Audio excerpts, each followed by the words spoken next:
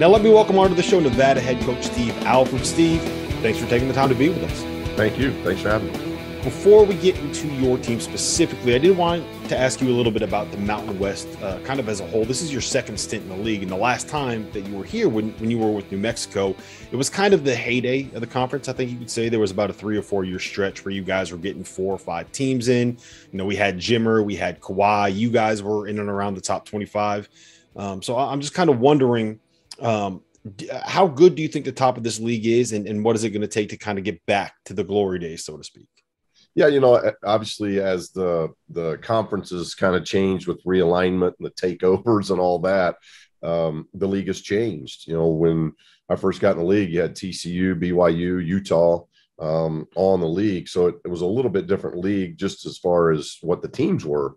Now we've kind of settled in. I, I think over the last six, seven, eight years with this group of teams and schools. Um, and I think the cool thing is you've seen there's some young coaches in the league. Um, there's some very veteran coaches um, in the league, and so there's a good blend. There's a good mix, um, and, and, I think that's made for a very competitive league. And in our two years here at Nevada, I've been very impressed with how the league is now. I think evolving again since the realignment, and that takes. I think that takes some time when all of a sudden there's been a lot of realignment, and now you're starting to see, I think, the depth of our league, and our league is starting to create that depth. And when you create depth, um, then the top gets even stronger. And from bids to um, uh, to your seating, I think that all impacts everything. And I, I think this I thought last year was a highly competitive in a COVID year where we had no fans, uh, and you're playing two games in one spot. Um, I, I, thought it was a highly competitive league, and I think potentially this year's league uh, could be deeper still and better yet. So we're we're trending in the right direction for sure. Yeah, and I think the the best proof of that is two of the historically best programs in the conference, New Mexico and UNLV, are not among like the top three or four teams in the league uh, right now. So I think great teams. Uh, it, in order to have great teams in the league, you need to have great players, which is the perfect segue to talk a little bit about Grant Sherfield. Uh, his numbers kind of speak for themselves 18 points, six assists. He led the team in steals. Um, I don't know if he's going to end up being an All American. I do think that he deserves to be in that conversation at the very least. So, uh, kind of just talk to me a little bit about him, how good he's been, and what you are expecting out of him this season. Yeah, he's just got he's one. He's got a very good skill set, but he, I love his toughness. Um, he he reminds me a lot of Aaron Holiday, um, who I coached at UCLA. They they carry a chip on their shoulder uh, because they're they're they're not six five, they're not six six. Um, probably both of those guys. Um, we recruited Aaron awfully hard at UCLA, but I thought he should have had every Power Five conference team on his on his radar, and he didn't. So I, to some degree, both those guys were under recruited. Um, we've known Grant a long time because Grant was going to come to UCLA with us, and uh, so to get him back um, as a bounce back from Wichita, obviously newcomer of the year last year, did it made I three or four game winners for us. He's just got that toughness. He's got that what we call it factor. Um, he's not afraid of mistakes. He's not afraid of the moment. Um, so I, I, think his leadership ability is getting better and better, and that's got to be where he's got to grow. I think when you go from that line of good to great, it's all about can you make teammates around you better? And that's where he's at right now. And if he can do that, um, he's going to be a great player and it's going to really help our team. Well, if you're comparing him to Aaron Holiday, then he's going to be awesome. Aaron Holiday was one of my favorite players of the last decade. That dude was awesome. Um, so you mentioned the game winners, right? I've always thought the most dangerous teams, kind of outside of those power conferences, are going to be the ones that have really, really good veteran guards. And you have that with Grant and, and Desmond Cambridge in your backcourt. So in your mind, how important is having that kind of veteran leadership in the backcourt, that veteran presence? Well, I think it's very important, and we're just going into year three, but this is really the first team we've had where I think we've we've got depth in every position, we've got size, we've got athleticism, uh, and we've got a, little bit of experience. Not great experience, but we got enough experience. We've got guys that have been through the league, we've got guys that have been through seasons. Um, I think you almost get a double dose of experience when you go through a COVID year because it's even it's even more whacked up. So um, I, I, think we've got those components, and it, we definitely are. This is definitely our most biggest um, physical team that we've had, and so we can impose a little bit more. I think we can do that defensively. So how we develop at that end is going to be the biggest key. But as you mentioned, you get late in games, you get late in possessions, you got to have guys that can get their own shot. And we've got that. And it starts with Dez and Grant for sure. But I think we're going to have others that can go create their own shot, especially, especially up front. I think we're going to have guys up front that can create their own shot as well. So th- those are good things to have when you're late possession, late games. Yeah, it makes you look good as a coach when you can kind of say, all right, clear out, give Grant the ball, and go make us a play, right? Now, one of those things you don't draw up, but you take credit for drawing it up. exactly, exactly. Uh, you mentioned your front court, and that's actually, uh, I think, is something going to be really interesting to kind of see out, uh, see play out with you guys this year. Um, you probably have four or five dudes that deserve to really get starters minutes, right? And it's always interesting to me with teams that have deep front courts because it's not like you get if you have seven really good guards, you can just play small ball, run four of them out there at the same time and figure it out. You can't really roll uh, Will Baker out there at the three and kind of roll the dice on that. So how do you, as a coach, how do you go into a season knowing that you have a lot of guys that that are going to deserve minutes and you can't always give uh, give it to all of them what they deserve? Well, one, I think the the competition has been great, and we're seeing that all the way back from April. Uh, you know, we finally had a full summer this year of development, which was key. We didn't have that last year. So, a big part of our development that we've worked on with our bigs is being able to guard out on the court um, because we want to play them together. And we've seen a lot of we've seen a lot of growth. Uh, now we got to wait to the season see how it looks, but we've seen a lot of growth that way. But you know, you got Will Baker at seven foot two forty five. You got Warren at seven foot two twenty five. You've got KJ 6'10", 225, 230. Um, Dre Henry uh, who played some last year for us. Um, AJ Bramah is somebody we got in the transfer portal that um, uh, has great athletic, maybe our best athlete on the team at six eight. Um, and can score it and rebound it. And then you got Nick Davidson, who we're very excited about as a young player from Mater Dei. So we've got guys up front um, that we haven't had, and guys that are going to be able to play both uh, what you would call the four spot and the five spot and I think we'll play them together. I think we can really get big and long and physical, and um, so. But a lot of that's going to be our development defensively. So let's talk a little bit about Warren Washington. I've heard some people mention that he could kind of be the guy that could quote unquote break out a little bit this season. So what have you seen from him this offseason and, and kind of what has he gotten uh, gotten better at? Yeah, I think Warren has just matured. I, I think he had to come in here and sit out a year. That's always hard.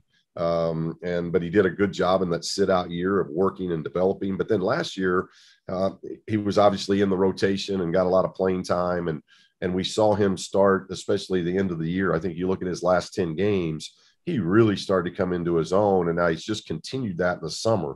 Um, he just carries himself differently than he did in year one, and that's what you want to happen. Uh, he's much more confident.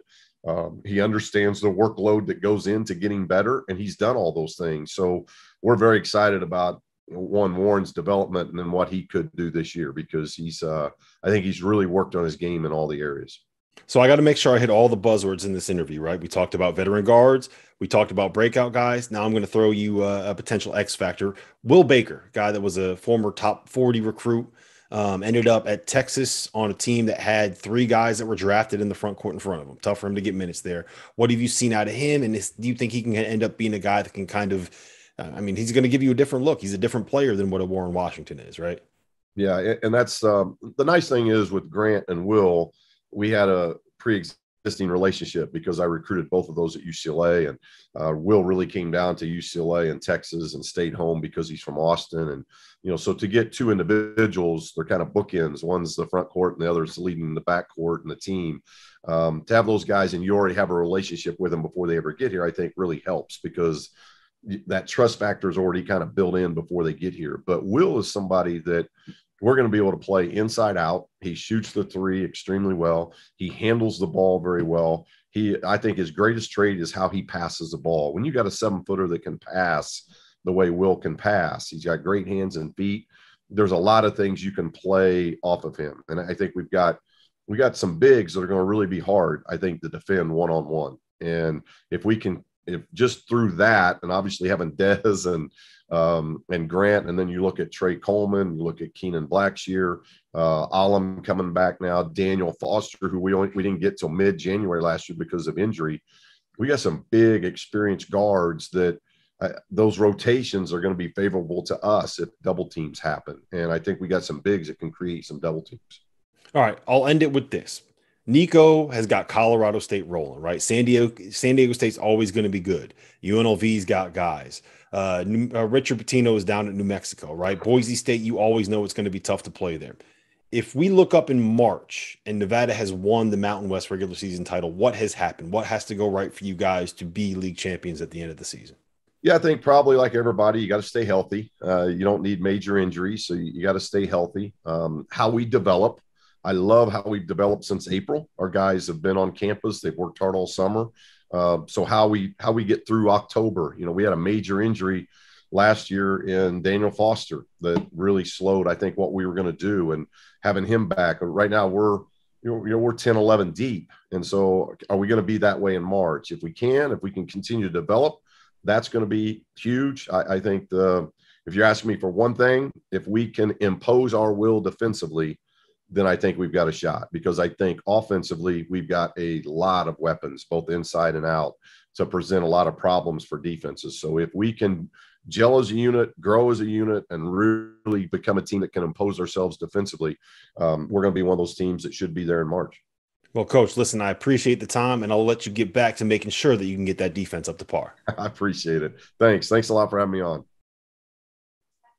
Before we move on, let me tell you guys a little bit about our partners over at Bet Rivers Sportsbook. If you haven't signed up for Bet Rivers yet, now is the time because they are offering a $250 match bonus for your first deposit. But what sets them apart is that they require just one playthrough to turn your bonus into cash money. With their Rush Pay instant approval, withdrawing your winnings is safer, it's more secure, and it's more reliable.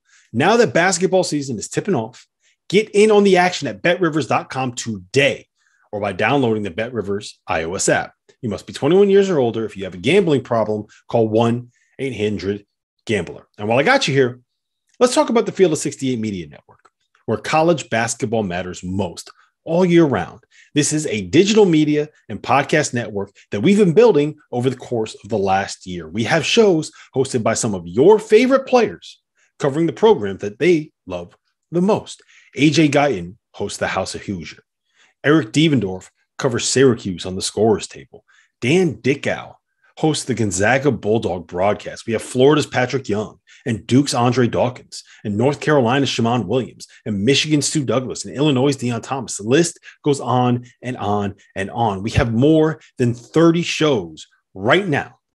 So hit the links below and check them all out. And while you're at it, make sure that you go check out the Field of 12 Media Network, your home for college football.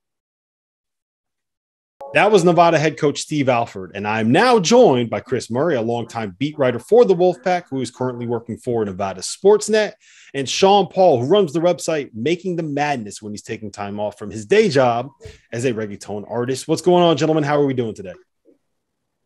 Doing well. Yep, I'm doing well also. Thanks for having me. Uh, so, Chris, I want to start off with this. It feels like from the outside that there is a reason mm-hmm. to be really, really excited about this Nevada team. Grant Sherfield is a stud, and we're going to get into that. Desmond Cambridge can really play. They're adding a kid that averaged 20 and 10 from Robert Morris. And I don't care what league you're in. If you average in 20, 20 and 10, you're going to be a player. So your boots on the ground there. What's the buzz like in Reno for this team right now? Oh, a lot of buzz. I mean, there's a lot of buzz for this football team and this basketball team, but basketball, basketball specifically, I mean, you're bringing back all five starters from last year. You're adding Will Baker, a, five, a former five star recruit coming from Texas. You're adding AJ Bramah, who, as mentioned, was one of the most productive players in the nation, you know, regardless conference uh, before he opted to transfer. And they have Kenan Blackshear as well, an FAU transfer. So you basically have the majority of your rotation from last year. You add a lot more talent in terms of transfers. They had a couple of high school recruits they're really high on. Nick Davidson, his uh, dad and mom both played sports for the Wolfpack. He's out of Mater Dei, an area that Coach Alford did a lot when he was at UCLA. They have Jalen Weaver, who's the top recruit out of the state of Colorado as a, a combo guard. Um, so this is a team that should be much deeper. They obviously have the star power. They have a lot of experience. They're in year three, uh, you know, of Steve Alford. So uh, they have everything that he wants in terms of the roster composition. And I think the expectation after kind of being more like CBI kind of team the last two years is to make that leap, not the NIT, but up to the NCAA, where Eric Musselman had this from before he left to go to Arkansas. Yeah, and it feels like that should certainly kind of be the level of expectation for this group, right? Especially with how good the Mountain West has a chance to end up being this season. Before we get into that, Sean, I do want to ask you. You wrote up a big profile on Grant Sherfield uh, during the summer, and so just kind of take me through what what what makes him special. Why is he so great, and why should America know who this kid is? Yeah, I mean, he has a great work ethic, and anybody you talk to that knows Grant would say that. Like, he works extremely hard. Uh, you know, his parents were both educators, so he just learned a lot from his parents, and they just taught him how to be a hard worker. And he loves basketball. I mean, that's what he wants to do, and he wants to win at the highest level. And he knows he's a leader of this Nevada team, and he knows he's a real difference maker at the end of the day. Because when you have a star player like him who hit three game winning shots last year, he's just what makes a team go from good to great and making the NCAA tournament. And I think that's a real difference maker for this team. Where Chris, where does he kind of stand in terms of the talent that we've seen come through Nevada in recent years? Right, like they had the Martin twins. They've had some really good players when Muss was there. Uh, where where does he kind of stand in the eyes of Wolfpack fans? The guy he reminds me of the most would be Ramon Sessions. Played 11 years in the NBA. He was never really star of his team, unlike Grant. Nick Fazekas was the star of that team. Uh, a kid named Kevin made it to the NBA from that team. Uh, so he was surrounded by really good players. Marcellus Kemp was the number two all-time scorer in school history from that team. The thing with Ramon and others similar to Grant is that he, there's not a lot of weakness game, right? Grant can shoot the three, he can get to the rims, great assist to turnover rate, he can play pretty good defense. He's got pretty decent size for a point guard. So not a lot of weaknesses in that game. When you look at taking it to the next level, can be an NBA player. Um, you know, I, am sure what the standout skill is, but I don't think anybody thought Ramon was going to make the league, let alone play a decade there. So he just knows how to play basketball. He's a very good basketball player. He's voted a captain of this team prior to last year when the team didn't even know if he was going to be eligible to play because he was still going through the trans process and trying to play immediately. So that shows you how much respect and the kind of leadership skills that he has that his teammates looked at him in that manner. So, you know, he might not necessarily be the Martins just in terms of the charisma of those guys and the uniqueness of their story, but he's a really, really good player. He is going to be one of the better players in the, the West Coast. Um, you know, Jalen Harris also came out of that kind of class of Eric Musselman and made it to the NBA as a rookie last year with the Raptors. So he's kind of that next guy that if Nevada's going to have a next NBA player, it's going to be Grant. Yeah, and I think if you're going to be a team coming out of the Mountain West that that really gets attention and kind of makes a run, you need that superstar, and it's really good to have that superstar at your point guard. The the the, the college game is a guards game, and I, I do think that that matters. Um, speaking of which, I always love teams that have two really, really good guards on them. Nevada also has De- Desmond Cambridge. So, uh, Sean, where does this backcourt kind of rank, kind of in the pantheon of uh, Mountain West backcourts, and just how good do you think these guys are in the perspective of kind of big picture of, the, of college basketball nationally? Yeah, I think it's the best backcourt in the conference for sure. I mean, you look at a team like Colorado State; they have some, they have a solid backcourt with Isaiah Stevens and Kendle Moore and Chandler Jacobs, more of a wing kind of guy, but he's versatile, so that's what makes Colorado State so good. And San Diego State with Trey Pulliam running the point, and Matt Bradley coming in from Cal. That's kind of the top three in the conference, and they probably all have the best backcourt in the conference. But when you have a guy like Grant Sherfield, 18 points per game, six assists per game and three rebounds per game last season. Desmond Cambridge, who can absolutely light it up from outside. Just finding that extra consistency is a big thing for Cambridge. But overall, I mean, when you're looking at backcourts in the country, this is probably like a top 15 backcourt in the country just because you have a guy who can drop 20 any given night with Cambridge and Sherfield who can do the same thing, but he also makes his teammates better. I mean, that's just what it comes down to, and that's what makes uh, winning teams really good. So Chris, the question that I have with this team, well, there, there's probably two, but I think the biggest one is how is Coach Alford going to navigate the depth that he has in his front court? There are probably like four or five guys for two positions, maybe one position, depending on uh, on how how much he wants to play small ball. I mean, we mentioned uh, Will Baker coming in. We mentioned AJ Brown going to be there. KJ Hymes is there. Warren Washington was the the third leading scorer on this team last season. There are a lot of bodies up front. How do you navigate that? Yeah, that's going to be a big question for him. I think the thing with Coach Alford, he likes to play two bigs. Like, you know, he doesn't mind shooting a lot of threes and playing a more modern style of basketball. Son Corey, who's now the head coach, at Huntington University uh, was very much pressing him to shoot as many threes as possible because he's kind of an analytically minded kind of guy. But uh, Coach Alford is going to play two bigs. Now, whether it's Warren Washington, AJ Hymes, or Will Baker's in there, AJ Bramah probably could play the three, but he best fits as kind of an undersized four who gives you a lot of mismatch uh, uh, opportunities. Um, you know, I think Warren Washington is a huge piece of this team. He's a kid who started at Penn State, started his career there, didn't didn't play a ton. Uh, super athletic seven footer. So Nevada can play really fast with him. He's not going to go out and shoot a lot of threes like you might see from your modern band, but um, I think he's a guy who could really blow up and be all comps, be one of the best centers in the league. You look at KJ Hymes, they've tried to develop him as a stretch four at six foot 10, six foot 11. Uh, Will Baker, you know, did not have a lot of success at Texas. Coach Alford has said that they've really retooled his shot they think he can come in and hit a lot of threes as well. So, um, you know, I don't think Jay Bramah is signing with Nevada unless he thinks that he's going to get 25 minutes per game. So you got four guys there who all they're going to get about 25 minutes per game. So we'll see how that settles out. But I think the good thing for Nevada is they don't just play one big time. Like they're more than comfortable putting two seven footers on the court at the same time because all of their bigs are athletic enough to run the court and defend multiple positions. So I think that will, in terms of that log jam up front, that the fact they can play two of them together and still function offensively and have enough spacing. Yeah, and I think it is important to note that Steve Alford did have success at New Mexico playing big guys like that when it was uh what was what was Aaron Aaron Gordon, Alex Kirk, Cameron yeah. Yeah, yeah, all those guys. Yeah, I mean the weird twins at UCLA, like mm-hmm. I'm not saying they're not going to do a small ball lineup with Bramah at the four, but I think they're all going to have a true center. And I think your second guy, they don't mind, you know, putting out a KJ Hymes and Warren Washington together. They did that a number of times last year. So um, I think there'll definitely be situations where you might even see Warren Washington uh, out there at the same time as Will Baker, two true set footers, which you don't see a lot in college basketball anymore. Right. Uh, the other question that I have with this team, Sean, is what they're going to do at the three spot, right? It's kind of obvious they, they're going to, whoever the bigs are, they're going to have a couple of them out there at the same time. Desmond Cambridge, Grant Sherfield, they're going to get their minutes as well. But who kind of slots in there at the three? Who do you think is going to be in that spot? Yeah, I'd go with a mix of Trey Coleman and Kenan Blackshear. Blackshear uh, is the brother of former Florida and Virginia Tech player Kerry Blackshear Jr. So a lot of basketball pedigree there, but he's a good defender. He's a big guy, and I think he could play the three very well for this team. And Trey Coleman, six seven, and can really shoot the ball from outside. Impressed as a freshman last season. So I think that's probably the route you're looking at. Maybe Daniel Foster, who was a freshman last season, got a lot of minutes during his freshman year also. But I think as the depth grows on this team, you're looking more at like Trey Coleman and Blackshear occupying that three spot with Sherfield and Cambridge at the one and two, uh, Warren Washington, Will Baker at the five, and then a mix of whoever uh, Bramah at the four. You're, there's a lot of different options. That's the big thing about this team. But you know, with KJ Hymes and Warren Washington down low, they both struggled with foul trouble last year. So having more options at the four and five could really help this Nevada team, you know, play more free on the defensive end. Sean, let me ask you this too. So I think that the top of the Mountain West is going to be really, really good. I think that they probably should have three tournament teams. It's Nevada, San Diego State, and Colorado State for me. I probably would have Nevada third. I don't think that you can really argue with putting any of those three teams in any order. I know you have them second. So let me ask you this.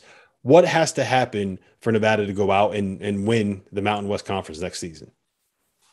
You need more con- you need some more consistent play down low from your four spot. I feel like Will Baker is the real difference maker for me along with KJ Hymes. Both are really talented players and Will Baker wasn't the 35th ranked recruit by accident. He's a really talented guy. It just didn't work out at Texas and you look at some of the guys they had on that roster, Jericho Sims, Kai Jones. He was he got the seventh most big men minutes on the team in 2019-20. He started the season at Texas last year, but transferred before the season really got going. And you look at last year's Texas roster; they had three guys who were selected in the NBA draft at the forward spots with Kai Jones, Jericho Sims, and Greg Brown. So it just wasn't going to work out there. And obviously had a good relationship with Steve Alford because UCLA made his final two originally out of high school, and Alford recruited him. I think he's a real difference maker for this team because he can shoot the ball. He's comfortable with the ball in his hands. He's athletic. I think if he can fit at the four next to Warren Washington, that would make a big difference because they'd be the only team in the Mountain West to play two seven footers, and their skill sets complement each other very well. All right, Chris, we can wrap it up with this. what what would the Nevada fan base consider a successful season for this group? Obviously, there's a certain level of expectation, uh, but it's still a team that's playing in the Mountain West, right? So what what needs to happen for this this season to be considered successful? NCAA tournament. I mean, I think you look at what Muss did, and he puts team in the top 25. They were top five in the nation his last year, getting to a Sweet 16. Uh, they had had that success with Trent Johnson, with Mark Fox from 2004 to 2007, and then they didn't have it for a decade and then not back. They don't want to have to revert back to where they were in that dry period. So I think anything short of an NCAA tournament berth is going to be a disappointment. I think that's why people were so mad with the non-conference schedule. The non-conference schedule is not great. Nevada's probably go out and win 24, 25 games. They might have to sweat out selection Sunday because that non-conference schedule. So I think people's expectations are such that this is a team that has enough talent to the big dance. And if they don't get there because the schedule is not up to par non-conference wise, that's why they were really upset. So, you know, they obviously want to go out and win a championship. I think if you made them pick between the two, they want to get back onto the national stage. They have the talent to do that. They have the coaching to do that. They maybe don't have the schedule to so they're going to have to go out there and win a lot of games. I think that's a fair expectation that if they do not reach the NCAA tournament, think a lot of fans, a lot of the players, and a lot of the coaches, you know, will, will feel like they did not get as much out of this season as they could have just based on the roster. Well, I, I certainly do think that they do have the horses to be able to make a run, not just in the Mountain West, but you know they can get to the tournament, maybe even win a game, depending on how things kind of break for them. But anyway, Sean, Chris, I really do appreciate the time, and thank you for helping me break down the Nevada Wolfpack.